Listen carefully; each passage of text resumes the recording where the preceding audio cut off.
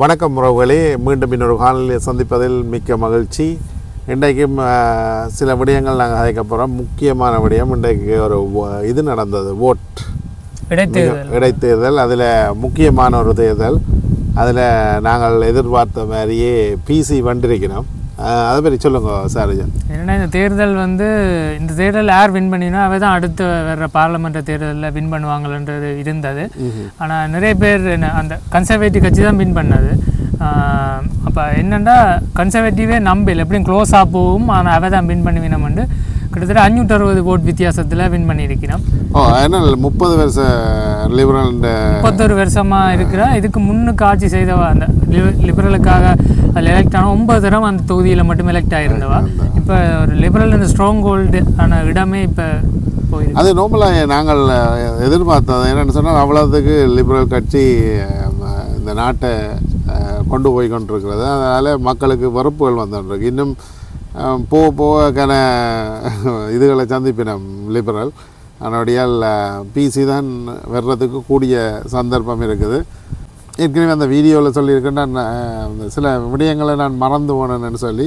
அதில் மிக முக்கியமான ஒரு விடயம் நான் கதைக்கோணும்னு நினச்ச விடயமும் கூட அங்கே நாங்கள் கேள்விப்பட்டிருக்கிறோம் இப்போ அந்த நாடு சீரழிஞ்சு கொண்டு போகுது அல்கஹோல் ட்ரக்ஸுகள் இது சம்மந்தமாக போதாண்டு நான் அங்கே இரவு நேரங்களில் பயணம் செய் செய்ய அந்த அது சம்மந்தமாக பார்த்துறேன் நாங்கள் அப்போ கூட்டமாக இருந்து ஆக்கள் அந்த தண்ணி அடித்து கொண்டிருக்கிறது இப்படியான விடயங்கள் நடக்குது.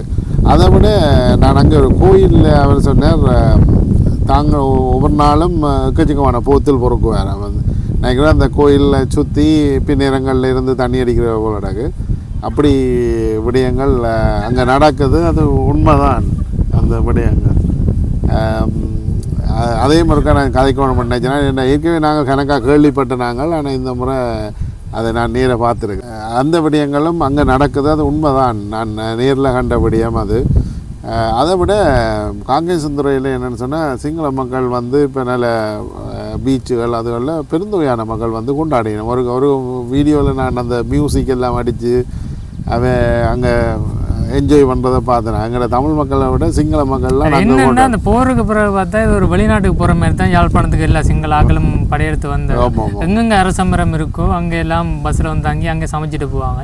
அவங்களுக்கு என்னென்னா யாழ்ப்பாணம் மட்டும் வெளிநாடு மாதிரி தானே அவங்களுக்கு. என்னடா அந்த முப்பது வருஷமா இல்லை முப்பத்தஞ்சு நாற்பது வருஷமாவே யாருமே பார்த்துருக்க மாட்டோம் யாழ்ப்பாணம் எப்படி இருக்குமெண்டு இப்போ நாங்கள் அங்கே போய் நுவல்லி அந்த சைடில் போய்க்க ஒரு சில- சிங்கள அந்த தங்கின வீடு சிங்கள வீடு அந்த அவைக்கும் யாழ்ப்பாணம் போக ஆசையாக இருக்குது சொல்லி தாங்கள் ஒரு காலம் போகையில் தங்களுக்கு போக விருப்பம்னு சொல்லி. அப்படி அந்த யாழ்ப்பாணம் போகிறத அவைக்கு நீங்கள் சொன்ன மண்ணை மிதிக்கா சிங்களவர் இவ்வளவு பேர் இருக்கு. இருக்கிறாங்க ஏன், அவைக்கு போகணுமெண்டு ஆசையாக இருக்குது மற்றது வெறாக்களே பிடிச்சிருக்கு யாழ்ப்பாணம். வித்தியாசமான நிலப்பரப்பு. தெற்கே ஒப்படைக்க வித்தியாசம் தானே. ஏன்னா வெளிநாடுகள் இப்போ முன்னேறி கொண்டு வருது. பில்டிங்கள் கடைகள் எல்லாம் நிறைய வந்துட்டுது. பார்க்க நல்ல வடிவாக இருக்குது இப்போ அவையும் வந்து பார்க்க அவைக்கும் ஒரு ஆசையாக இருக்கும். என்ன? இந்த கனடாவில் வந்து இந்த கார் தெஃப்ட் வந்து கூட தானே ஆமாம் இப்போ வந்து டொரண்டோ போலீஸ் வந்து ஒரு கார் தெஃப்ட் ரிங்கு அந்த ஒரு கூட்டா கார் தெஃப்ட் ஒன்றாக்கில் பிடிச்சிருக்கிறாங்க. அதோடு சேர்ந்து ஒரு சர்வீஸ் ஒன்டேரியோவில் வேலை செய்கிற ஒரு ஆளை எம்ப்ளாயியே அரெஸ்ட் பண்ணியிருக்காங்க ஏனென்னா அவங்க அந்த கார் தெஃப்ட் ரிங்கோட கனெக்ஷனில் இருக்கிறாங்க இப்போ ஒரு இப்போ உங்கள்கிட்ட ஒரு கார் இருக்குன்னா அதை திருடி போட்டு அதுக்கு வந்து ரிஜிஸ்ட்ரேஷன் நம்பரை மாற்றி கொடுக்குற அப்படின்னா இங்கே ஒரு லட்சம் கொண்டாசி ஓடுதுன்னா உங்களுக்கு திருடு போன கார் இதுன்னு உங்களுக்கு தெரியும் உங்களுக்கு பக்கத்தையே பார்க் பண்ணியிருக்கு உங்களுக்கும் தெரியும் அப்படி nine point five five million அதாவது ஒன்பது புள்ளி அஞ்சு மில்லியன் டாலர்ஸுக்கான ஓட்டோ தெஃப்ட்டுக்கான சம்மந்தப்பட்ட ஆட்கள் வந்து அரெஸ்ட் பண்ணியிருக்கிறாங்க. ஆனால் அவங்களும் நெடுக இப்போ கிடக்கிட இப்படி இப்படி அரெஸ்ட் பண்ணுறாங்களா ஆனால் அது கார்த்தேஃபன் என்னென்னா கனடா பொறுத்த வரைக்கும் சட்டம் வந்து வீக்காக இருக்குது நாங்கள் இந்த இடைக்கொரோனா காய்ச்சிருந்தோம் இந்த டொரண்டோவில் நகை நானூறு கிலோ கிட்ட தங்கம் கிடச்சி அவங்க எல்லாம் ரிலீஸ் பண்ணியாச்சு. இப்போ எல்லாம் நோமலாக வெளில சுற்றுறாங்க அதெல்லாம் இப்போ வீடியோ வழியில் பாய்க்கு போய் கொண்டு சாதாரண மக்கள் மாதிரி போய் கொண்டு இப்போ ஒரு திரு திருட்டோ இல்லாட்டி ஒரு கத்தி குத்தோ எதில் ஈடுபட்டாலும் ஈவினிங் ரிலீஸ் பண்ணி விடுவாங்க. அவர் திருப்ப வந்து அதே தான் செய்கிறார் அப்போ என்னென்னா கனடா சட்டம் அவ்வளோ வீக்காக இருக்குது என்னென்னா திருடன் கொலையாளியை கூட மனித அபிமானம் காட்டுறபடியா அதான் இந்த பிரச்சனை? அதை அவர்களும் சொல்லுகிறார்கள். ஆனால் அதுக்கு எந்த வித மாற்றமும் கொண்டு வராமல் அதையே திருப்பி திருப்பி செய்து கொண்டிருக்கிறார்கள். இப்போ போலீஸாரும் அதை குற்றச்சாட்டாக சொல்கிறார்கள் அவர்கள் வெளியில் வந்துடுவார்கள் அப்போ தாங்களுக்கு ஒன்றும் செய்யலாமல் இருக்குன்னு சொல்லி சொல்லுகிறார்கள். ஆனால் அந்த சட்டமோ ஏதோ ஒன்றை மாற்றுறதுக்காக ரெடியாக இல்லை ம், மற்றது கனடா கொஞ்ச நாளைக்கு முன்னம் அஹ், நான் உங்களுக்கு தெரிஞ்சிருக்கும் நினைக்கிறேன் எல்லாருக்கும். இந்த பிரின்ஸ் எட்வர்ட் ஐலாண்டில் இந்தியன் ஸ்டூடெண்ட்ஸ் வந்து போராட்டம் செய்து கொண்டிருக்கிறாங்க இப்போ என்ன பிரச்சனைன்னா அவங்கள்ட்ட ஸ்டூடெண்ட்ஸ் பெர்மிட் எல்லாம் எக்ஸ்பைரி ஆகி ஒர்க் பெர்மிட்டும் எக்ஸ்பைரி ஆகிட்டு இப்போ அவங்களால அந்த பாயிண்ட் ஸ்பேஸ் சிஸ்டம் மூலமாக பிஆருக்கு அப்ளை பண்ண முடியாது. இப்போ அப்ளை பண்ண முடியாத காரணத்தினால அவங்க போராட்டம் செய்கிறாங்க என்னென்னா அவங்க எல்லாம் டிம் ஹோட்டன்ஸ் அந்த மாதிரி அந்த சர்வீஸ் இண்டஸ்ட்ரி வால்மார்ட் எல்லாம் வேலை செய்கிறாங்க ஆனால் அந்த கவர்மெண்ட் என்ன கேட்குதுன்னா எங்களுக்கு nurses health care workers construction workers தான் எங்களுக்கு அவை தான் வேணும். அவை இருந்தீங்களா உங்களுக்கு பிஆர் நாங்கள் அலௌன்ஸ் பண்ணுவோம். அதாவது உங்களுக்கு தருவோம்ண்டு இப்போ இவங்கள் வந்து அங்கே அந்த மாநிலத்தை தேர்ந்தெடுத்தது காரணமே ஈஸியாக பிஆர் கிடைக்குமாண்டு இப்போ பார்த்தா பிஆர் கிடைக்கலன்னு போராடுறாங்க. இப்போ இது இந்த மாநிலத்தில் மட்டுமில்லை இப்போ எல்லா மாநிலத்திலும் இது போராட்டமாக வரப்போது ஏன்னா மில்லியன் கணக்கான படித்து படிச்சு கொண்டிருக்கிறாங்க லிபரல் லூ லூஸ் பண்ணுறதுக்கு இதுவும் ஒரு காரணம். அவர்கள் எக்கச்சக்கமான ஸ்டூடெண்ட் இங்கே எடுத்து போட்டு இப்போ இப்படி போராட்டங்கள் இப்படி வீடு வளவில் வேலை இல்லை இப்படியான பிரச்சனைகளில் ஈடுபடுறதால தான் அந்த முக்கியமாக இந்த லிபரல் லூஸ் பண்ணி கொண்டு போக அது முக்கியமாக நான் ஒரு கொஞ்ச நாளைக்கு முன்னம் ஒரு விஷயம் கலெக்ட் பண்ணான். கிட்டத்தட்ட ரெண்டாயிரத்தி இருபத்தி நாலு சேர்க்காமலே கிட்டத்தட்ட மூன்று மில்லியன் ஸ்டடி பெர்மிட் கொடுத்துருக்குறான். ரெண்டா முப்பது லட்சம் ஸ்டூடெண்ட் வந்திருக்காங்க முப்பது லட்சம் ஸ்டூடெண்ட்ஸ் வந்து ரெண்டாயிரத்தி பத்தொம்பதுலேருந்து ரெண்டாயிரத்தி இருபத்தி மூணுக்குள்ள ரெண்டாயிரத்தி இருபத்தி நாலில் எப்படி மூணு லட்சத்தி தொண்ணூற்றி மூவாயிரம் பேர் கொடுப்பட்டுடும் இப்போ இங்கே வேலை இல்லா பிரச்சனையாக இருக்கும் வீடு வாடகை கூடது காரணம் வந்து இவ்வளோ பேரை உள்ள விட்டேன். ஏன்னா கனடாவால் இவ்வளோ பேரை வந்து சமாளிக்கல. சடன்லியா இப்போ கொஞ்சம் கொஞ்சமாக எடுத்தாலும் திடீர் திடீரென்று திடீரென்று பெருந்தொகையான மக்கள் விரைக்கில் முப்பது லட்சம்ன்றது ஸ்டூடெண்ட் மட்டும்தான். இதுலவே இந்த வைஃப் பிள்ளைலன்னு பார்த்தீங்கன்னா கூட இது நா நாலு மில்லியன் வந்துடும் நாற்பது லட்சம் பேர் வந்துடும் ஒவ்வொரு ஒவ்வொரு நான் இந்த கனடா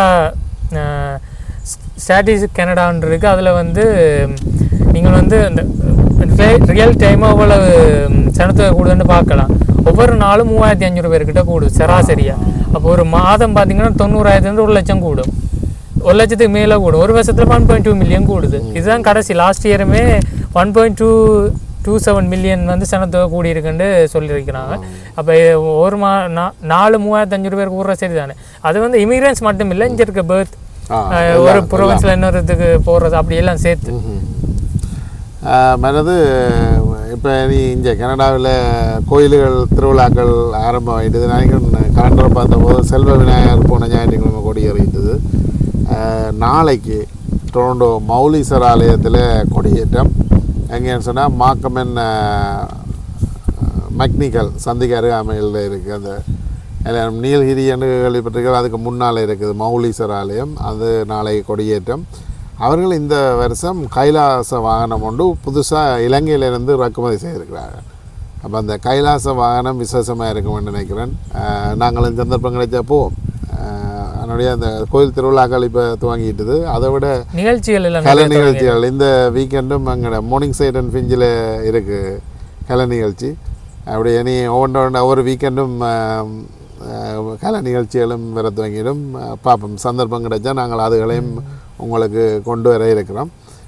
வேறு என்ன புதினம் வேற வந்து கனடாவில் வந்து இந்த எல்லாம் ரிட்டையர் ஆகினம் தானே. ஒரு ஒரு மாதத்துக்கு எண்பத்தோராயிரம் பேர் வந்து ஐம்பது ஐம்பத்தஞ்சு வயசை தாண்டி போய் கொண்டிருக்கேன் அதாவது என்ன சொல்ற ரிட்டையர்மெண்ட்டுக்கு போயினேன் இன்னொரு பத்து வருஷத்துக்குள்ள நிறைய பேர் ரிட்டையர் ஆக போயினோம்னு சொல்லினோம். அப்போ அப்போ அப்படி போய் எங்களுக்கு இப்போ எங்கள் நாங்கள் வயது வரைக்கும் எங்களுக்கு இருக்குமா? பெஞ்சன் தருவாங்களா? இல்லாத அது கேன்சல் ஆகிடுது அதுதான் பெரிய பிரச்சனை. இப்போ என்னன்னா ரெண்டாயிரமாம் ஆண்டில் ரிட்டையர்மெண்ட் ரேட் அறுபத்தொண்டு புள்ளி உண்டு அதாவது அறுபத்தொரு வயசானீங்கன்னா ரிட்டையர்மெண்ட் ஆகலாம். இப்போ எல்லாம் அறுபத்தஞ்சுக்கு தான் ரிட்டையர்மெண்ட் ஆனால் என்னென்னா இப்போ நீங்கள் ரிட்டையர்மெண்ட்டை கூட அஃபோர்ட் பண்ணிடலாம் அதுதான் இப்போ பிரச்சனை போய் கொண்டு இப்போ உங்களுக்கு ரிட்டையர்மெண்ட் வச்சு காசை வச்சு கூட உங்களால் வாழ முடியாது. இப்போ நிறைய வயசான ஆட்களை வந்து நீங்கள் அந்த ஹோம் டிபோட் வழியே பார்ப்பீங்களா? அந்த வேலை வேலை செஞ்சோன்ற ஏன்னா அந்த காசு காணாது. அவன் கொடுக்குற காசு ஆயிரத்தி முந்நூறு ஆயிரத்தி முந்நூற்றி அறுபத்தி நாலு டாலர்ஸ் அறுபது சென்ஸ் கொடுக்குறாங்க. அது என்ன இந்த இந்த இப்பத்த சூழ்நிலைக்கு அது சில பேர் பார்த்தா அதுல வேற பாதி காசு க்ரோசரிக்கு அவை இந்த என்ன சொல்ற மருந்து பொருட்களுக்கே காணாது.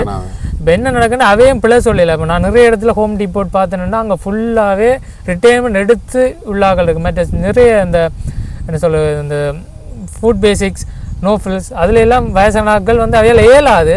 ஆனால் அந்த பேரங்களை தூக்கி இறக்கி அந்த செல்ஃபில் அடிக்கலாம் வேலை செஞ்சுருக்கிறோம் ஆமாம். இப்போ எந்த ஹோமில் பார்த்தா எழுபது வயது வரையும் வேலை செய்யணும். எழுபது எழுபத்தி ரெண்டு வயதுலேயும் வேலை செய்யணும். ஏன்னு சொன்னால் அவைக்கு அந்த பென்ஷன் காணா பென்ஷன் காணாதபடியா வேலை செஞ்சிருக்கேன் இப்போ இதுவும் தான் ஒரு பிரச்சனையா இருக்கு. அதாவது ரிட்டையர்மெண்ட் ஆன ஆட்கள் கூட தொடர்ந்து வேலை செய்யறதும் நிறைய இன்டர்நேஷனல் ஸ்டூடெண்ட்ஸ் வந்து படிச்சு முடிச்சுட்டு வேலை இல்லாம இந்த டிம் மோட்டன்ஸ் வழியவும் நோபலிஸ் வழியவும் வேலை செஞ்சு அவங்கள வந்து என்ன செய்யணும்னா படிச்சு முடிச்சுட்டு என்ன சொல்ல ஆஃபீஸ் ஒர்க்கோ ஏதோ ஒரு ஒர்க்குக்கு உள்ளே போகணும் பேங்க்ஸோ போகணும். இப்போ அந்த அந்த ஒர்க்குக்கு அவங்க போகாதபடியே இந்த இடத்த அடைச்சு கொண்டு நிற்கிறாங்க அதாவது அடைச்சு கொண்டு நிற்கிறாங்க இப்போ புதுசாக வர்றாங்களும் ஒரு வேலையை தேட முடியல. கனடா வந்து ஸ்டக்கான நிலைமையில நிற்குது மனது இன்னொரு பிரச்சனை நான் பார்த்த அளவில் இந்த டாக்டர் சரியான ஷார்ட்டேஜ் இப்போ நீங்கள் போய் ஒரு ஃபேமிலி டாக்டர் எடுக்க இல்லாமல் இருக்கு. என்னென்னு சொன்னால் இப்போ பாப்புலேஷன் எல்லாம் கூடிக்கொண்டு போகுது. அதுக்கு தக்க டாக்டர்ஸ் இல்லை. டாக்டர்ஸ் குறைஞ்சு கொண்டு போகுதுன்னு தான் சொல்லலாம். என்னதுன்னா மேபி கனடா அந்த ஹெல்த் கனடா பே பண்ணணும் டாக்டர்ஸுக்கு கூட்டண்ட காரணத்தால் என்ன தெரியா அவன் எடுக்கணும் இல்லை இது ஒரு முக்கியமான விஷயம் என்னன்னா கனடாவில் வந்து நீங்கள் டாக்டர் ஆகிறதுக்கு வந்து மூன்று நாள் எக்ஸாம் எழுதணும் அதாவது நீங்கள் வெளியில் இப்போ இந்தியாவிலேயோ ஸ்ரீலங்காலேயோ எம்பிபிஎஸ்ஸோ இது முடிச்சிங்கன்னா இங்கே வந்துட்டு நீங்கள் மெடிசன் திருப்ப இருந்து படிக்கிற மாதிரி தான் இருக்கும் அந்த எக்ஸாம் எல்லாம் டிஃப்ரெண்ட்டாக இருக்கும் கன வருஷம் எடுக்கு நீங்கள் டாக்டர் ஆகிறதுக்கு ஆனால் அங்கே ஏற்கனவே டாக்டராக இருந்தவேனா இங்கே ஒரு எக்ஸாம் எழுதி போட்டு செய்யலாம். அப்படி ஆனா என்னன்னா வேற நாடுல கம்பேர் பண்ணக்கு இது வந்து சரியான ஸ்ட்ரிக்டா இருக்கு. இப்போ என்னடா நீங்க யூஎஸ் பாத்தீங்கன்னா பதினாலு வருஷம் பா- மேலே ஆக நீங்க ஒரு டாக்டர் ஆகணுமாண்டா. அப்படி ஒரு ஸ்ட்ரிக்டான இது இருக்கிறபடியா டாக்டர் ஆக மித கஷ்டமா இருக்கு. கூட டாக்டர்ஸ் வந்து இங்க வந்து டாக்ஸி ஓடினோம் நர்சஸ் வந்து காஃபி அதில் அந்த டிம் ஹோட்டன்ஸ் காஃபி கடையெல்லாம் வேலை செய்யணும். இதோட என்னென்னு சொல்லியிருக்காங்க என்னன்னா கனடா அந்த ராணுவம் இருக்குதானே? ஆர்மிக்கு வந்து ஆட்கள் காணாதான் ஆக்களை ஆக்களை வந்து அந்த ரெக்கார்ட் பண்ண ரெக்கமெண்ட் பண்ண அந்த ரெக்ரூட்மெண்ட் பண்ணுவாங்கல்லானே அது வந்து சரியாக குறைஞ்சிருக்காம் யாரும் அந்த ஜங்கர் ஜென்ரேஷன் வந்து இதுக்கு வந்து ஆர்வம் காட்டல. ஏன்னா அங்கேயுமே வந்து சேலரி ரொம்ப குறைவாக இருக்கும். அதனால யாருமே ஆர்வம் காட்டல. இப்போ அமெரிக்காவில் வந்த மாதிரி சிலவில் வேற வாய்ப்பு இருக்குது இப்போ பதினெட்டு வயசுலேருந்து இருபத்தாறு வயசுக்கு பத்தொன்பது வயசுலேருந்து இருபத்தாறு வயசுக்கு இருக்கிற கட்டாயம் எல்லாருமே வந்து ராணுவத்தில் சேரணுமெண்டு அப்படி சட்டமா பெரிய ஒரு ஓர் வருமா இருந்தால் அப்படியான ஒரு சட்டத்தை கொண்டு வர சான்சஸ் இருக்கு. ஆனா கனடாவில் இருக்கிறவங்க எப்படி கமெண்ட் பண்றாங்கன்னா இந்த நாட்டுக்காக போய் சாகிறதுக்கெல்லாம் நாங்கள் ரெடி இல்லைன்னு அதாவது ஒரு நாட்டு இருக்கிறார்கள் வந்து நாட்டை நேசிக்கணும். ஆனா நாட்டை வெறுக்கிற இளைஞர்கள் இருக்கேக்கல ஏன்னா அவங்களுக்கு வேலை இல்லை. எல்லாமே கஷ்டமா இருக்கேக்கல இந்த நாட்டுக்காக போய் நாங்கள் நிற்கணுமென்று அந்த நாட்டை பற்றி யார்ட்டையும் இல்லை.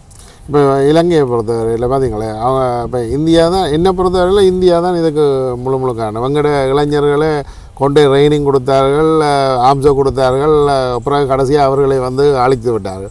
தேவையான நேரம் உருவாக்குவார்கள்.